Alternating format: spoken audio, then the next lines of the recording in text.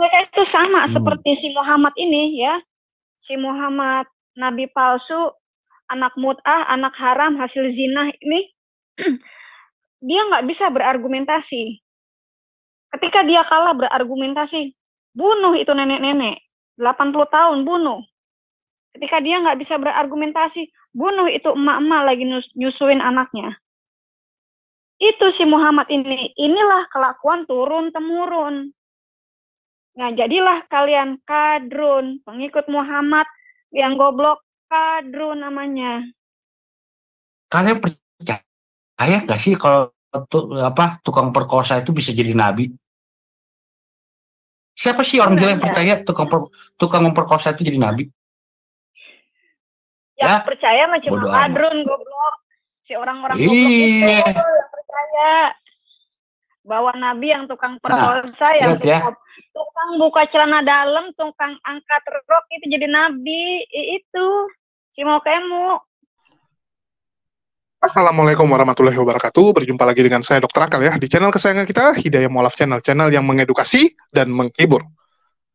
Di kesempatan ini ya, saya ingin menjelaskan dan juga membahas satu topik yang benar-benar ngeri, ngeri sedap ini ya. Dan ini akan membuat banyak orang marah tentunya setelah saya membahas konten yang satu ini.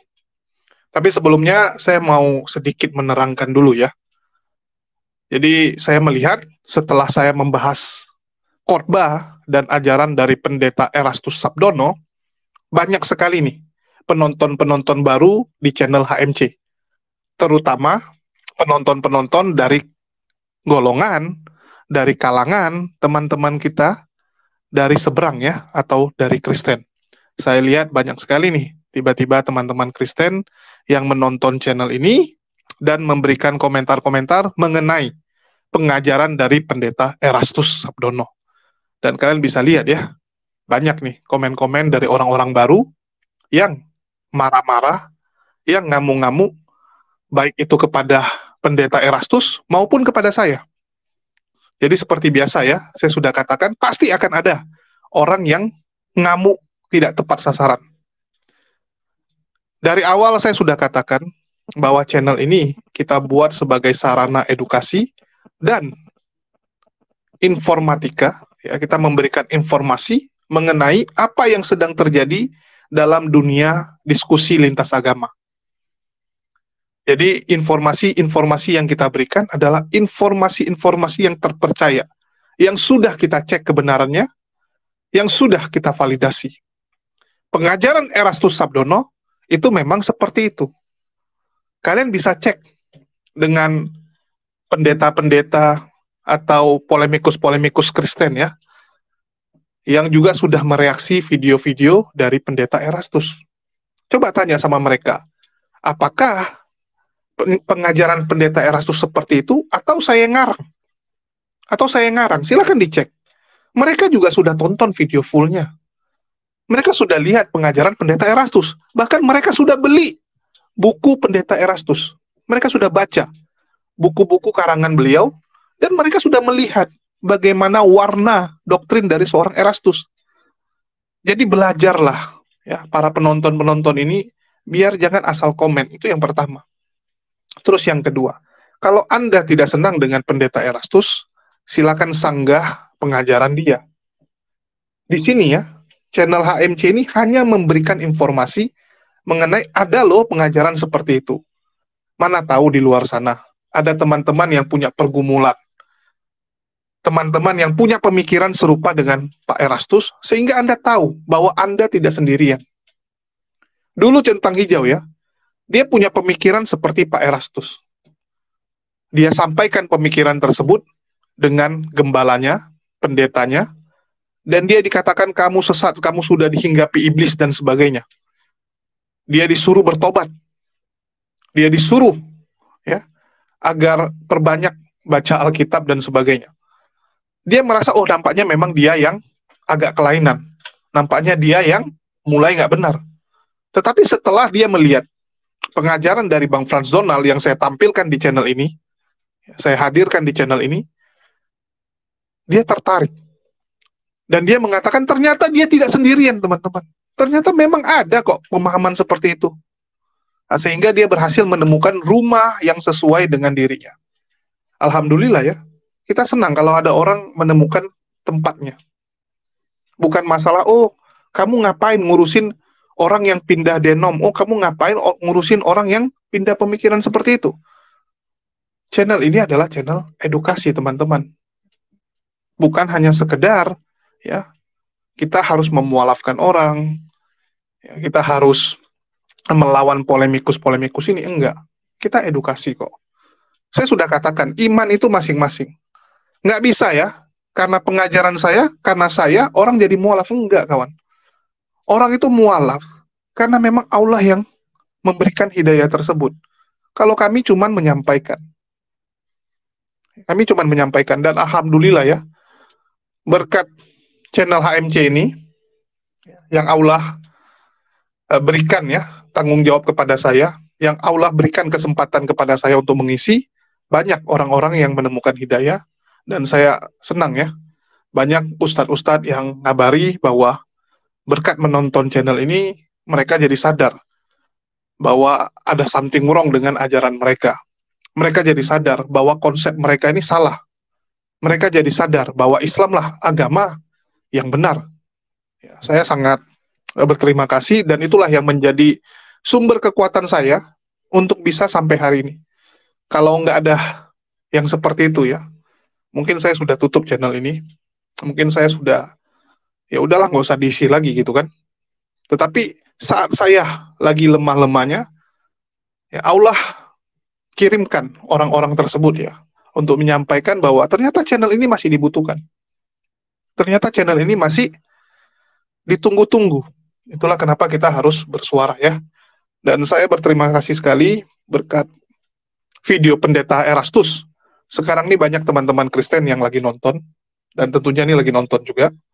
Jadi di sini adalah kesempatan yang baik untuk saya sampaikan kepada kalian ya. Jadi kalian sudah lihat bahwa channel saya atau channel HMC ini ya, memberikan informasi yang sesuai dengan kenyataan. Kita tidak mengarang-arang, apalagi menghujat agama orang. Ya. Kita hanya menyampaikan ada loh ini, ada loh ini. Kalaupun ada penghujatan itu ada orang lain yang menghujat, yang kita tampilkan. Ini ada loh penghujat. Ya. Contoh Rudi Simamora menghujat agama Islam. Ini orangnya loh. Begitu juga dengan penghujatan kepada agama lain. Orang-orangnya yang kita infokan kita tampilkan videonya. Ya, kita tampilkan. Dan bagi teman-teman dari pihak sebelah yang bilang, "Oh, kamu ngapain gitu kan? Mending kamu bahas yang lain gitu. Jangan gitu kan?" Saya lucu lihat kalian gitu. Kecuali yang kita bahas ini adalah sesuatu yang nggak benar, itu kalian boleh, silakan tuntut saya. Tetapi yang saya sampaikan adalah apa yang benar-benar terjadi dan memang ada, ada barangnya gitu memang pendeta Erastus menyampaikan seperti itu. Ya, bahwa Yesus adalah 100% manusia yang diberikan firman oleh Allah, yang diberikan logos.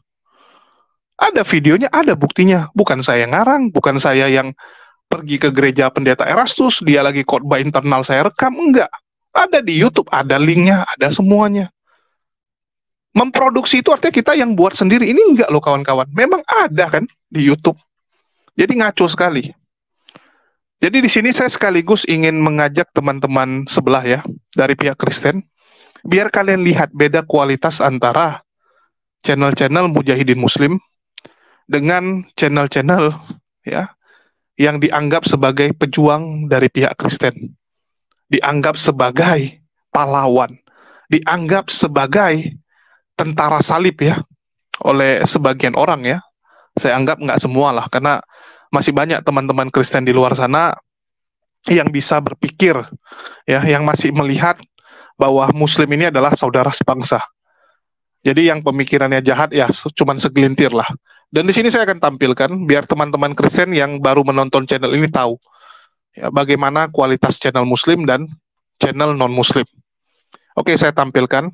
Ya udah lama nih kita nggak nonton channel satu ini. Ya ini ada channel pejuang Kristen ya, kalian bisa lihat. Namanya Sang Penggugat. Ya, kalian bisa lihat. Ya, mari kita saat teduh. Wah, keren ya. Kesaksian mengenai Yesus, Sister Sulung gitu kan. Nah, yang gini-ginian masih mending gitu. Nah, tapi kalian bisa lihat selain ya saat teduh atau membahas kitab mereka, ya, membahas tentang ajaran Kristen, apa yang mereka bahas? Coba lihat nih. Heboh, masjid ditutupi 60% masjid digulung di timur tengah. Ya, Indonesia kapan? Wah, keren ya. Terus cara terbaik menjadi nabi adalah memperkosa. Press release, nabi paling heboh sedunia. Momo hobi buka celana dalam. Ya. Jadi Momo adalah julukan yang mereka buat untuk baginda Nabi Muhammad Shallallahu Alaihi Wasallam. Dan kalian bisa lihat bagaimana channel-channel ini ya, kalau sudah membahas Islam. Sedangkan kami ada nggak? Kami bahas Kristen dari mulut kami sendiri. Kalian bisa lihat semua pembahasan Kristen yang ada di channel ini itu adalah pembahasan dari orang-orang Kristen sendiri yang saya tampilkan. Ya, Pendeta Erasus sampaikan tentang kekristenan, saya tampilkan. Nanti Muri Wali jelaskan tentang Kristen, saya tampilkan. Dari kalian sendiri yang saya tampilkan, bukan saya yang ngata-ngatain, oh ajaran Kristen tuh beginilah begitu, enggak. Ya. Tapi kalian lihat channel-channel yang diagung-agungkan oleh orang-orang Kristen. Ya. Walaupun nggak semua, saya yakin masih banyak Kristen yang baik. Ya kita tonton saja, contohnya ini yang kalian bisa lihat ini linknya ya catat dulu linknya biar kalian lihat terus ini ya nabi paling heboh sedunia. Ini linknya. Marilah kita tonton. Ya, mari kita tonton. Kalau mau biar teman-teman sebelah ini belajar. Betapa ngerinya. Betapa ngerinya orang-orang dari kubu sebelah kalau membahas agama orang. Oke kita tonton aja lah biar mereka sadar. Oh iya kita setelah dulu. menceritakan. Kan gosip dulu kan dongeng dulu. Mm-mm. diceritakan, setelah diceritakan dongeng dulu pokoknya. Makanya Nah, ini gue mm. bilang ini kita penuh dengan dongeng ya. Ini satu. Dongeng dulu, dongeng dulu. Ya, ini ini adalah cerita tentang perang Khaybar ya. Nah, inilah yang terjadi ya. Jadi nabi kalian ke Khaybar ya berboncengan ya sama orang namanya siapa? Si Nabi Muhammad. Membonceng siapa? Membonceng Abu Abu Tahla.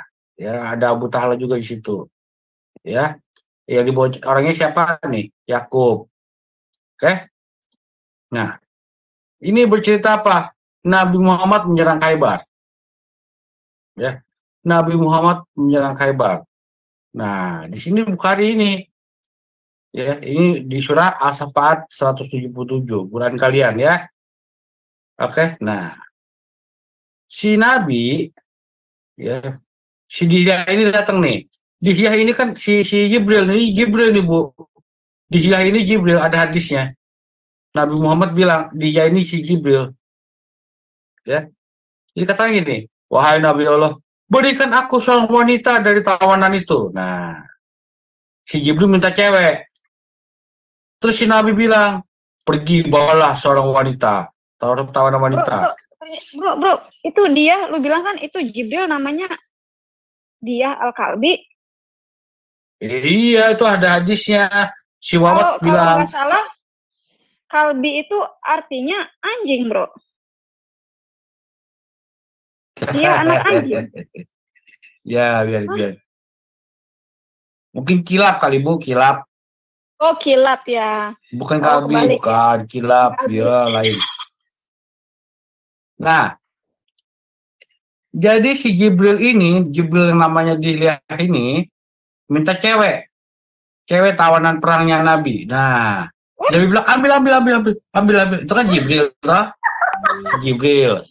Ambil, ambil, ambil, ambil. Ya. Iya, dia ini si Jibril bu. Nah, Aduh. si dia terus ngambil siapa? Ngambil si Safia cuy. Ngambil Safia binti Huyai. Ya. Eh tiba-tiba ada yang datang kepada Nabi. Dibilang, Woi Nabi, waduh lu gimana sih? Kenapa lu kasih si Safia ke dia? Ini cewek yang paling cakep cuy. Nggak pantas itu buat si dia. Pantasnya buat Tuhan. Waduh. Paling Panas dia cantik ya. ya. Si Muhammad panas dong. Iya kaget dia. Dia nggak ngeh. wanita paling cantik, dia langsung wah berdiri si Otong ya. Nah, ya. Iya. Nah. Ya, karena cewek ini paling terhormat, paling cantik ya. Dia kaget. Wah, masa sih? Oh, coba panggil-panggil. Panggil si Jibril sama si cewek itu. Nah, datanglah si Jibril. Kucuk, kucuk, kucuk, kucuk. Bareng sama si Safia.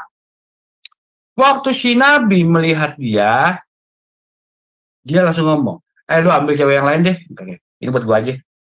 Waduh, si Jibril diperintah sama Nabi. Waduh, ya. Dan Nabi memerdekakan wanita tersebut oh, dan menikahinya. Ternyata si Jibril doyan cewek juga ya. Pantesan dia niup-niupin farjahanya si Maria. oh iya dong. Hmm. Ya. Nah, si Sabit nanya sama si Anas bin Malik, yang jadi maharnya apa? Anas menjawab, maharnya adalah kemerdekaan wanita itu. Di maharnya kok kemerdekaan?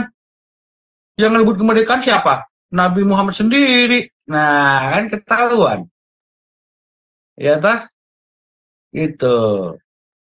Jadi saat perjalanan Um Sulaim merias Safia lalu menyerahkannya oh, pada Nabi. Saat malam tiba. Dia lagi bokeh sebenarnya, tapi Otong nggak nahan gitu. Ya, gitulah ya. Nah, ya. Ya, jadi waktu di perjalanan, ingat ya, ini saat berada di perjalanan. Sama saat berada di perjalanan, Ummu Sulaim itu meriasi Safia. Terus kasih ke Nabi. Ya, saat malam tiba, jadilah beliau pengantin. Wik wik. Ya, ya, nah, jos, jos, ayo, jos, ayo, oh, oh. Ya. Iya, just this door, ya. Nah, Pertanyaannya apakah si Safia itu dengan rela hati menyerahkan dirinya? Ingat ya, masih di hari yang sama sebelumnya si, si Nabi itu baru membunuh suami dia, namanya si Kinana.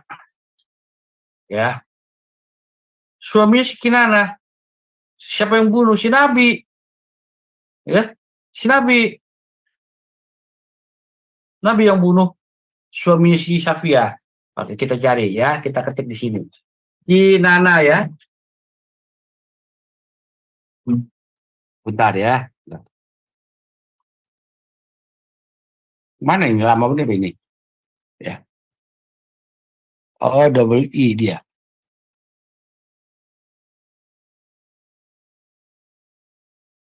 Nah, ini ya. Lihat nih. Nah, ya, Ibnu Ishak berkata, saat Rasulullah berhasil menguasai Akamus, benteng milik Bani Abu Hukai, Safia binti Huyai dan seorang wanita lainnya dibawa kepada beliau. Ya. Ini si Bilal, ini adalah orang yang mendatangkan keduanya. Dia dan kedua wanita tersebut melewati korban orang-orang Yahudi. Ketika wanita yang bersama Safia melihat korban-korban orang Yahudi itu, ia berteriak, mencakar-cakar wajahnya dan mendaburkan tanah ke kepalanya. Ya. Jadi saat Rasulullah melihatnya beliau bersabda, "Jauhkan wanita setan ini dariku." Ya. Rasulullah memerintahkan Safia berjalan di belakangnya dan memakaikan selendang miliknya kepada Safia. Nah, ya. Ini menurut Sirah Ibnu Ibnu Hisam. Oke. Kita lihat nih. Nah, nah. Maka sisanya itu adalah cerita-cerita nih. Nah ini, ini cerita tentang bagaimana si Kinana bin Rabi ini suami si Safia itu mati ya. Dia dibunuh sama atas perintah siapa? Perintah Rasulullah dibunuh. Otomatis ya si Rasulullah bertanggung jawab. Paginya lakinya dibunuh, malamnya bininya dipakai. Hey. Menurut kalian apakah itu pemerkosaan atau tidak. Kan begitu.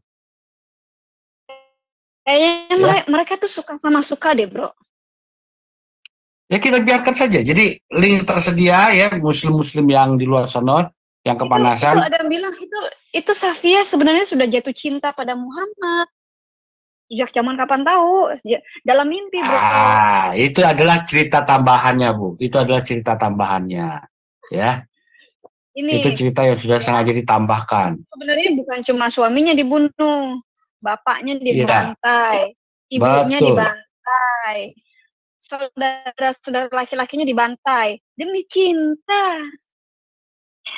Kan nggak mungkin banget kalau memang dia cinta kan nggak begitu, bro. Ya, Demi cinta Nah, kita ya lihat dia nih. rela. Pokoknya maunya bobo sama Muhammad, bobo-bobo cakep gitu kan, belai-belayan, remes-remesan gitu. iya. Jadi pertanyaannya simpel aja sebenarnya. Yang gua pertanyakan gini, ya, kalian percaya nggak sih kalau apa tukang perkosa itu bisa jadi nabi? Siapa sih orang gila yang percaya tukang per- tukang memperkosa itu jadi nabi? Yang Ya, percaya amat. kadrun goblok. Si orang-orang goblok itu yang percaya bahwa nabi yang tukang perkosa, yang lihat ya. tukang, tukang buka celana dalam, tukang angkat rok itu jadi nabi. I- itu si mau kemu. Mau gue Ya, nyanyiin ini lagunya. 50% masjid, ya. Nah, ini ceritanya.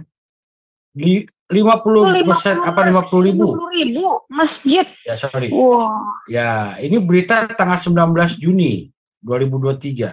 50 ribu masjid ditutup bangkrut. Ini kalau God close out artinya bangkrut ya. Ada close Ya, out kenapa? bangkrut. Ya, jadi saudara ceritanya itu banyak masalah, Bu. Ya, di beberapa waktu yang lalu kita ingat mereka di Iran ini kan ribut yang soal hijab itu kan. Ya, Ya, ya itu dia. Mulai dari situ mulailah ada perkembangan namanya istilahnya eh, pemberontakan lah di dalam negara itu ya. Jadi mereka yang muslim-muslim mulai nggak percaya dengan agamanya. Akibatnya seperti ini Murtad. ya. Iya, 60% ini. Ini 60% dari 75 ribu itu lebih dong. semua masjidnya. dari 60 persen, 75 ribu. 75 persen, dua per tiga. Iya, Dua per tiga. 75 persen. per Nah. Jadi kita kita baca beritanya ya, kita kita baca beritanya ya. Nah, kita baca beritanya. The closure of significant number of mosques in Iran, especially 50,000 out of 75,000, has been a topic of concern and speculation. Such a high number has triggered a wave of question and raised eyebrows globally. Jadi memang membuat heboh, pertanyaan ya. membuat banyak pertanyaan, membuat kehebohan, kehebohan deh secara global ya. Keheranan. Kalau Rise Eyebrow itu termasuk dalam keheranan. Iya, nah.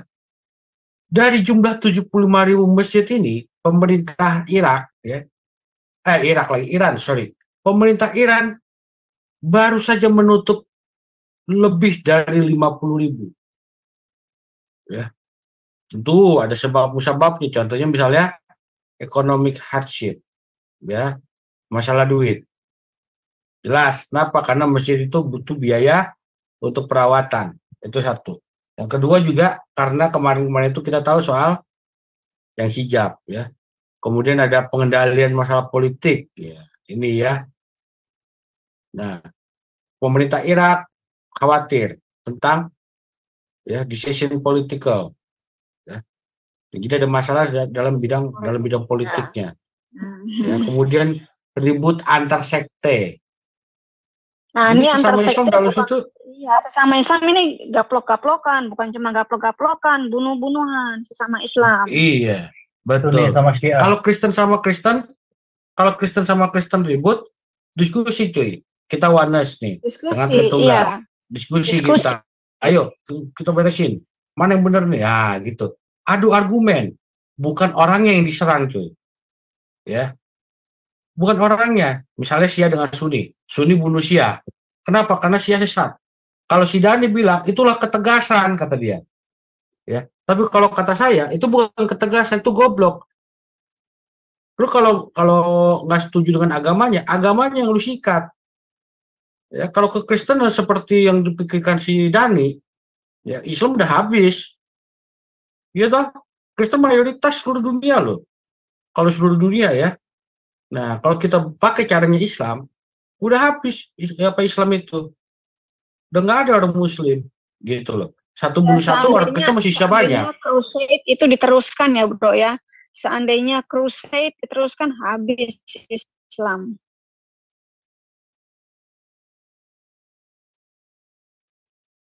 Ya betul ya. Jadi saya sangat setuju akan adanya crusade. Saya ulangi sekali lagi, ya.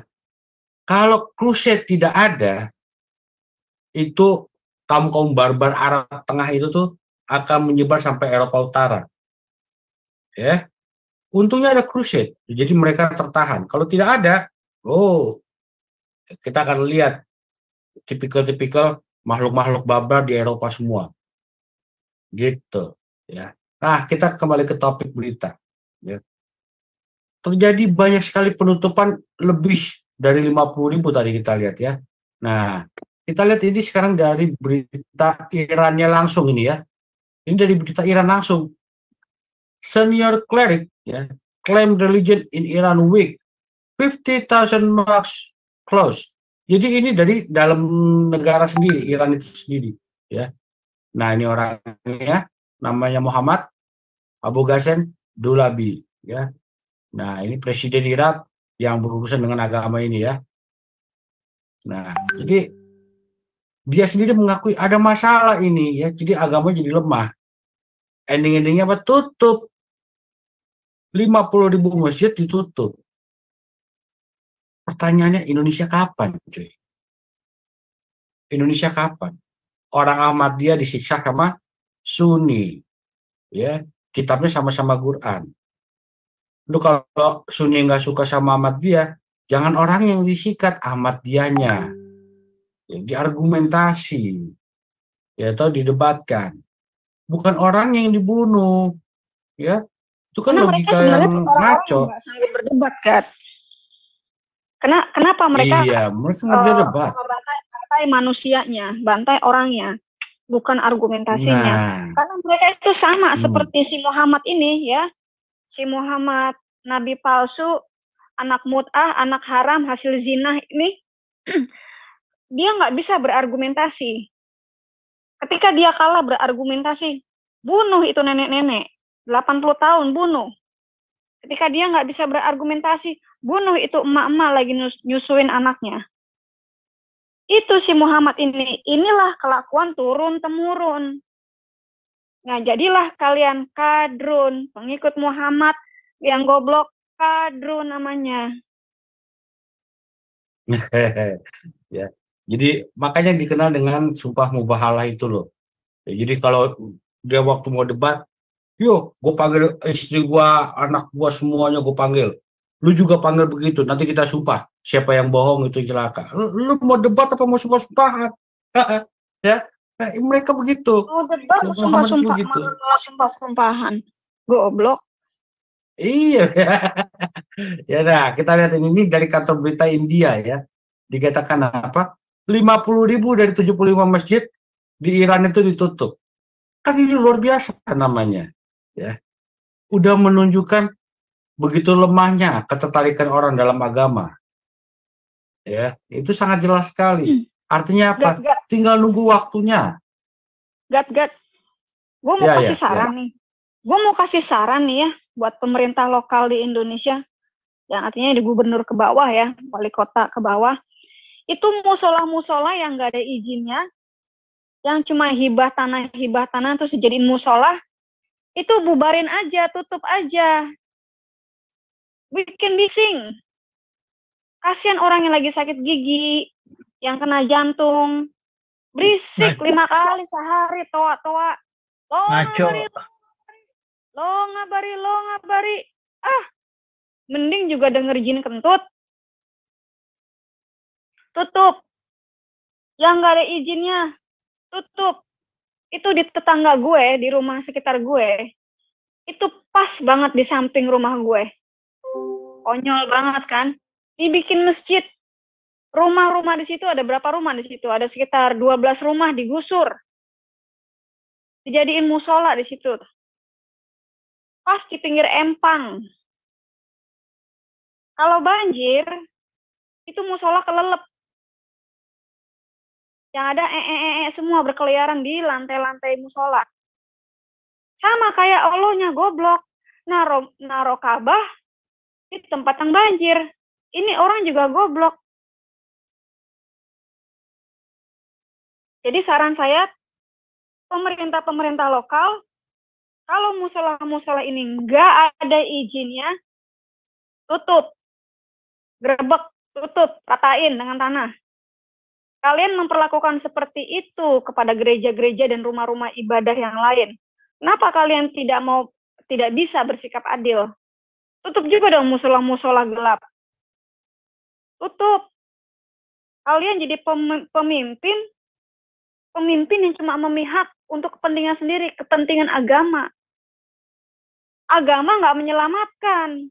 Agama malah bikin kacau. Semakin banyak agama, semakin kacau manusianya. Lihat aja Islam. Sesama Islam aja main bunuh-bunuhan, main gorok-gorokan kepala. Sama-sama dibilang murtad, sama-sama dibilang kafir. Oh si A bukan Islam, oh Sunni bukan Islam, oh si A kafir, oh Sunni kafir. Lalu berdua sama kafir. Tidak mempercayai kalau Isa adalah juru selamat, lu kafir berdua. Gak ada beda. Puji Mm-mm, Tuhan, betul. Alhamdulillah itu masjid-masjid ditutup. Ganti diskotik aja.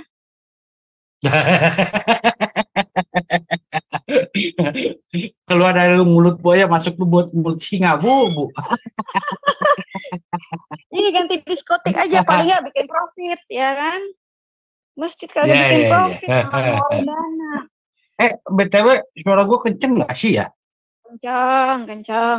Keren. Kenceng banget gak? Kenceng banget gak? Pokoknya kencang, keren. Oh, keren ya. Iya. Mumpung ma- mumpung masih ingat ya.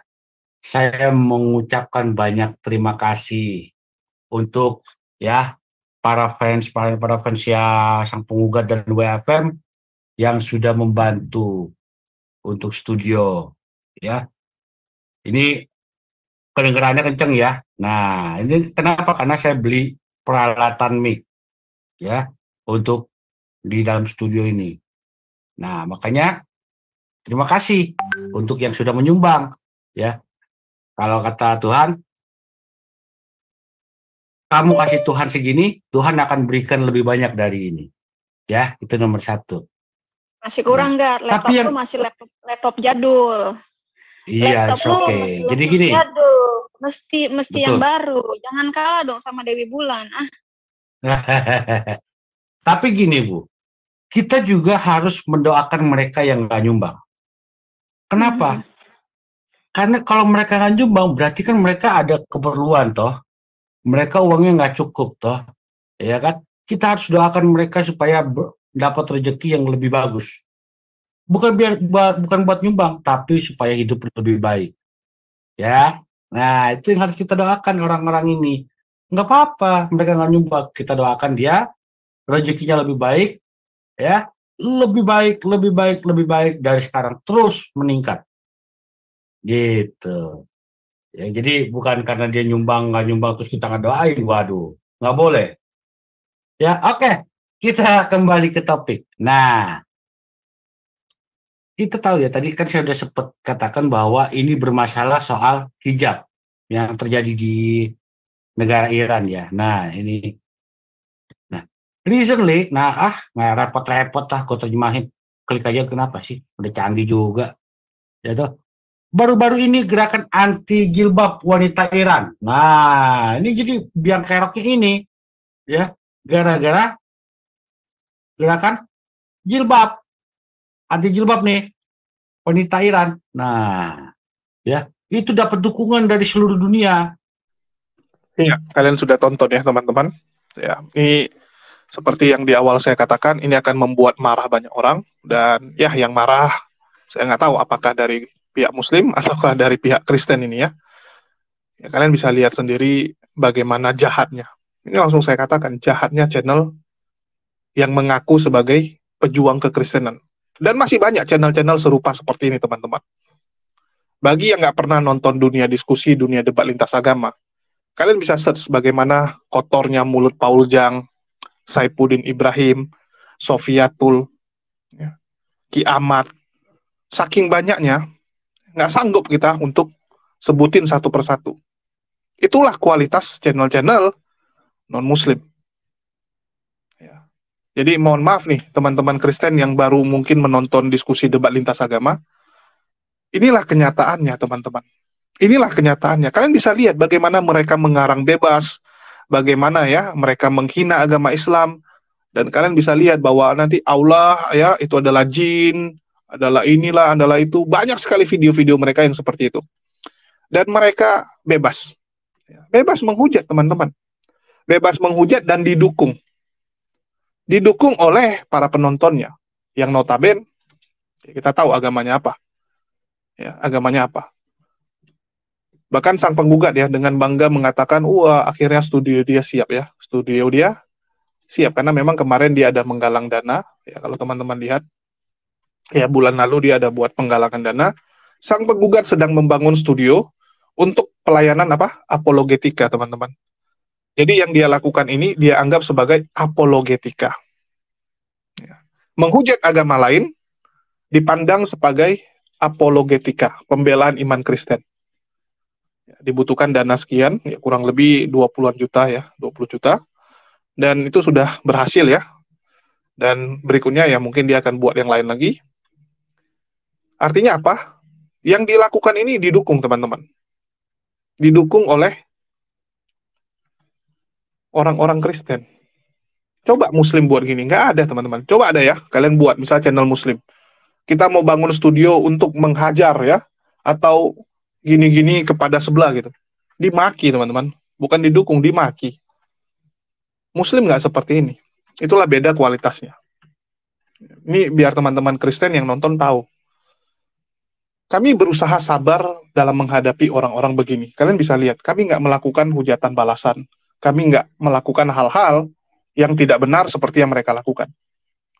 Kami membela iman kami dengan cara yang benar dan terpuji, yang sesuai dengan ketentuan hukum. Ya, kami membela iman kami dengan apa?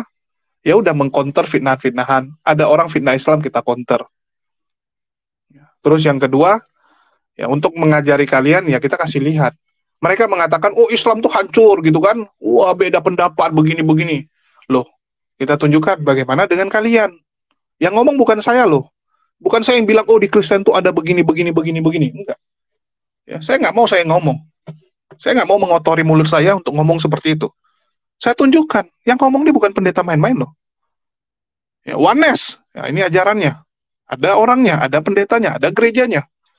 Pengajaran Unitarian, ada nih orangnya. Jadi saking nggak bisa terimanya orang-orang ini bilangnya apa? Oh kamu palsukan, kamu ngarang-ngarang, ya kamu yang buat itu pendeta. Gimana ceritanya pendeta Erastus begitu besar saya yang ngarang? Ya, beliau sudah duluan ada daripada saya. Bahkan sebelum saya lahir dia udah pelayanan, dia udah jadi pendeta sebelum saya lahir. Kan nggak mungkin saya ngarang. Ya, memangnya konsepnya apa? Saya sudah ada sebelum pendeta Erastus gitu. HMC sudah ada sebelum dia. Ya, kan lucu. Saya yang menciptakan dia. Lawak-lawak aja nih.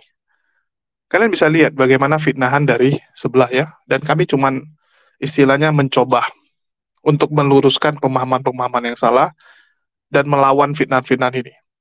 Bagi teman-teman Kristen yang baru nonton ini sekaligus ya saya mau kasih tahu kalian. Mengapa kalian bisa melihat banyak sekali nih keresahan umat muslim belakangan ini ya terhadap pendirian gereja yang tanpa izin dan sebagainya. Ya, kalian mungkin lihat berita juga ya, ada orang lagi ibadah dihentikan karena gerejanya atau tempat ibadahnya nggak punya izin. Kalau dulu nggak ada masalah, kenapa sekarang jadi seperti ini? Ya lantaran gara-gara orang-orang seperti ini. Gara-gara orang seperti sang penggugat, Dewi Bulan, ya Sofiatul, Paul Jang, ya, Wadonat, dan sebagainya. Mereka inilah biang keroknya. Mereka inilah yang membuat umat muslim sekarang jadi nggak nggak enak, jadi nggak nyaman. Kalian akan lihat begitu banyak channel-channel penghujat yang dibuat oleh orang-orang non-muslim ini. Ya saya nggak tahu apakah mereka benaran apologet, apakah mereka memang tentara Kristen, apakah mereka sedang membela iman Kristen, ataukah hanya mencari sensasi dan mencari uang. Kita berharap ya dari pemuka-pemuka Kristen bisa menegur orang-orang ini. Ya minimal kalau nggak bisa menegur, mengeluarkanlah statement yang jelas bahwa mereka ini nggak mewakili kekristenan dan mereka ini adalah teroris musuh kita bersama. Kita masih berharap teman-teman Kristen ya itu bisa bergandengan tangan melawan penghujat-penghujat penista agama ini. Kita harap ya, kita bisa bersatu agar kita bisa menjaga kerukunan hidup beragama di Indonesia ini. Ya, itu yang kita harapkan. Jadi mohon maaf ya kalau channel ini menghadirkan fakta-fakta, menghadirkan hal-hal yang mengguncang iman. Ya. Saya juga nggak pengen sebenarnya seperti ini. Bahkan saya kadang-kadang masih mikir kok bisa di sini saya. Saya yang sebelumnya backgroundnya pengusaha, ya tiba-tiba kok di sini gitu. Gara-gara ya ini saya juga ya diserbu oleh banyak orang termasuk teman-teman saya sendiri banyak yang nggak senang dengan channel ini. Bahkan saya dijadikan target ya, salah satu target nomor satu untuk dilenyapkan. Karena apa? Mengungkap kebenaran. Nggak enak memang melawan ya melawan orang-orang ini. Tapi mau nggak mau kita harus sampaikan. Walaupun nyawa resikonya. Jadi ya kalian harus tahu juga ya, teman-teman Kristen harus tahu juga bahwa inilah yang kita hadapi sekarang, teman-teman ada ada orang-orang jahat di belakang ini yang punya skenario nggak baik untuk negara kita. Mereka sangat ingin menghancurkan Indonesia, mereka ingin mengadu domba kita. Ya, mohon maaf kalau yang saya sampaikan ini berat dan membuat terguncang ya. Jadi itu aja sih yang bisa saya sampaikan. Ya, kita punya medan tempur kita sendiri, kita punya peperangan kita sendiri, kita punya perjuangan kita sendiri. Ya, bagi teman-teman doakan saya untuk tetap istiqomah, untuk tetap kuat ya menghadapi badai cobaan ini, menghadapi peperangan yang bisa saya bilang ini mungkin memang nggak ada endingnya ya sampai hari kiamat nanti. Ya doakan saya terus kuat untuk bisa menghadirkan informasi-informasi terbaru dan juga melawan syubat-syubat fitnah-fitnahan dari para polemikus-polemikus penghujat ini. Ya doakan saya tetap kuat. Ya walaupun ya kita kadang-kadang lagi lemah-lemahnya dan mungkin ada beberapa teman yang nanya kok belakangan ini kayak agak lemas gitu kan? Ya memang ada beberapa hal yang membuat kita agak lemas belakangan ini apalagi contoh banyaknya fakta-fakta yang kita ketahui dan ya banyaknya serangan-serangan juga dari pihak yang nggak senang dan ya kadang-kadang kita lelah ya kita merasa kita berjuang sendiri kadang-kadang kita merasa waduh kok seperti inilah ya. Kok seperti ini perjuangannya. Tapi ya mau gimana lagi, harus ada yang ngambil bagian. Ya, harus ada yang mengambil jalan perjuangan ini. Ya, memang harus ada yang ngambil bagian gak enaknya. Kalau semua ngambil yang enaknya, ya siapa yang ngambil bagian yang gak enak seperti ini? Ya mau nggak mau saya putuskan ya sudahlah saya di sini aja nggak apa-apa lewat jalur perjuangan ini. Ya kalau dipilih memang lebih enak debat. Ya saya lebih senang debat kayak dulu ya dulu kan kita diskusi debat gitu. Enak gitu nggak nggak perlu pusing-pusing. Tinggal ya hajar argumen mereka kasih pertanyaan yang membuat mereka terdiam ya, kasih dalil buat mereka udah selesai gitu. Penonton juga senang ya. Penonton senang penonton juga happy. Kalau yang ini kan nggak ya, malah kita harus capek-capek malah kita sangat beresiko. Ya karena yang ginian ini membuat mereka benar-benar nggak bisa nggak bisa berkata apa-apa. Tapi ya ini yang harus kita lakukan Mungkin itu aja sih yang bisa saya sampaikan. Terlalu panjang malah jadi ngaco nanti ya. Ya, makasih buat teman-teman semua yang udah mendukung perjuangan kita ini. Dan terima kasih buat semuanya. Di akhir kata saya ucapkan, wassalamualaikum warahmatullahi wabarakatuh. Sampai jumpa di konten-konten kita berikutnya.